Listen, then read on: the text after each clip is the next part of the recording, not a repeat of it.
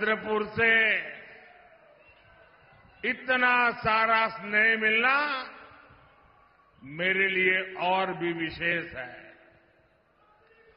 ये चंद्रपुरी है जिसने अयोध्या में भव्य राम मंदिर निर्माण के लिए लकड़ी भेजी।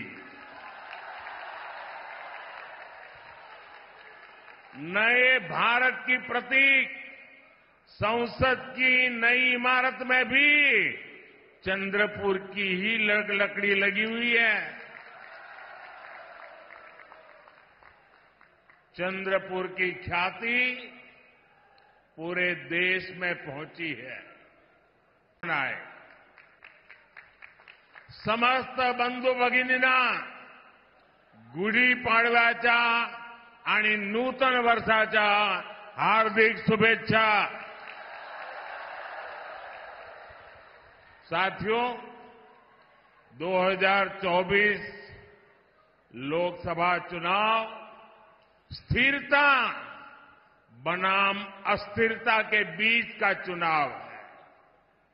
एक और भाजपा एनडीए है।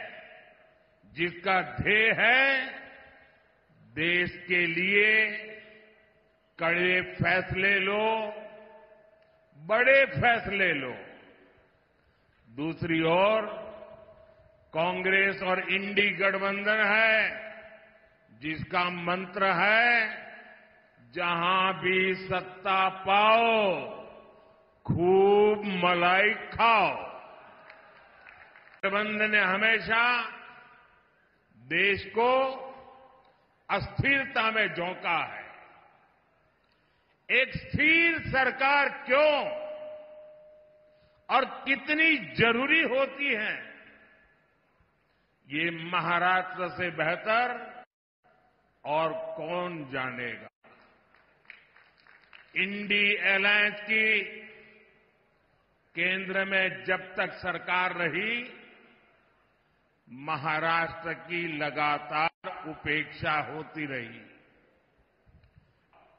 भाई और बहनों, हमारी सरकार ने महाराष्ट्र और विदर्भ के विकास के लिए इन सभी योजनाओं को फिर से शुरू किया है।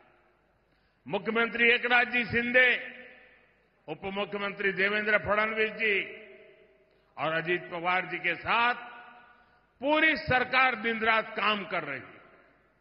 विकास के बड़े काम तेज़ी से पूरे हो रहे हैं। और जब नीयत सही होती है तो नतीजे भी सही होते हैं। इसलिए, साथियों, आज देश का दलित, पिछड़ा, आदिवासी और गरीब मोदी सरकार को अपनी सरकार मानता है। अपनापन महसूस करता है।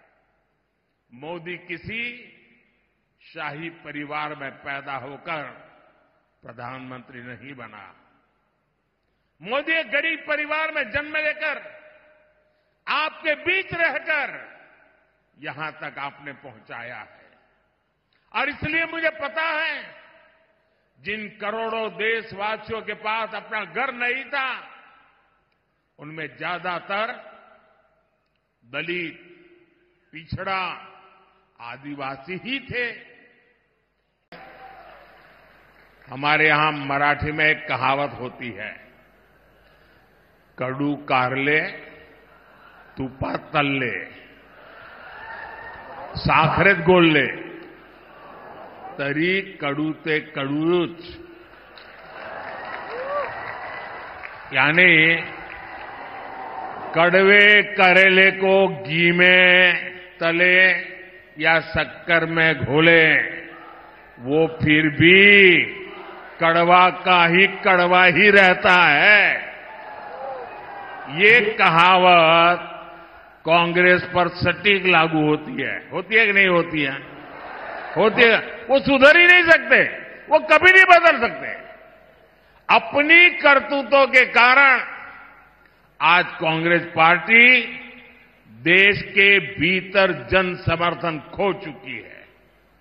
इसलिए अब कांग्रेस खुलकर बांटो और राज करो के खेल पर उतर आई है। कांग्रेस ने अपना जो घोषणा पत्र निकाला है, उसमें भी मुस्लिम लीग की भाषा लिखी गई है। क्या ये आपको मंजूर है? ये देश